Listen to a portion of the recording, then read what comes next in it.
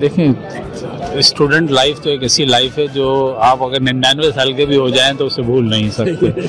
और जब हम अपने पुराने बैचमेटों से मिलते हैं तो वो जो शरारतें क्लास में होती थी वो कभी ना भूलने वाली यादें हैं जो हमेशा आपके साथ रहती हैं। ख़ास तौर पर कुछ टीचर ऐसे होते थे जो बहुत ज़्यादा सख्ती करते थे। तो अक्सर बच्चे जो पीछे बैठे होते थे वो जैसे ही वो बोर्ड पे लिखना शुरू करते थे तो गॉसिप शुरू कर देते थे। और वो जैसे ही टर्न टर्न अप करते थे तो पूरी क्लास ऐसे साइलेंट हो जाती थी जैसे साइलेंस तो वो उनको गुस्सा भी बहुत आता था लेकिन वो कहते थे तुम बड़े शरारती बच्चे हो।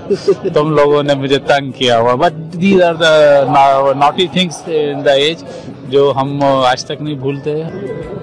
यादें तो बहुत सारी हैं। आ, लेकिन जो एक लास्ट डे होता है यूनिवर्सिटी का जब सब एक दूसरे से बिछड़ रहे होते हैं वो बहरहाल एक यादगार दिन था और आज एक मेरा ख्याल है यादगार दिन है जो दोबारा उस दोबारा वो रिन्यू किया सब कुछ।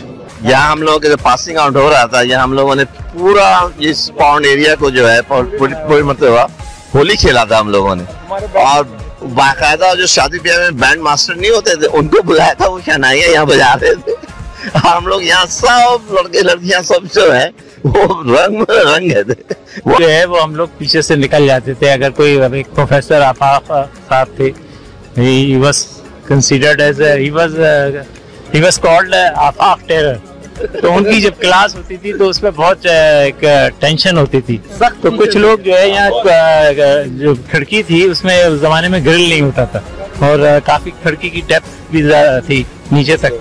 तो वो लो डेप्थ वहाँ से जो है सारे लोग अक्सर जो है वो उधर वो जब पढ़ा रहे होते थे निकलते जाते थे। तो जब जब जब उसमें ये है कि हमारे यहाँ जो है वह बहुत यहाँ पर जो ऐसे ओकेजन्स थे कि मालूम हुआ अलवी साहब की डॉक्टर अलवी क्लास में लोग जो है हॉर्स लेकर आ जाते थे वो बाँध देते थे। बहुत सारे बार दफ़ा हाँ, असल में जब ज़्यादा सख्ती होती थी जब स्पेशली जब कोई क्रॉस क्वेश्चनिंग होती थी तो अक्सर लोग जो है ना वहाँ से पीछे से निकल जाते थे। हाँ, और उसमें हमारे मखदूबी साहब की क्लास थी उसमें तो काफ़ी लोग एंजॉय करते थे क्योंकि वो बहुत फ्रेंडली पढ़ाते थे। अच्छा सर अब आप लोग माशाल्लाह इतने अरसे बाद यहाँ एक एक वाक़ याद करता हूँ। हमारे मरहूम डॉक्टर टी खान साहब थे वाइस चांसलर थे।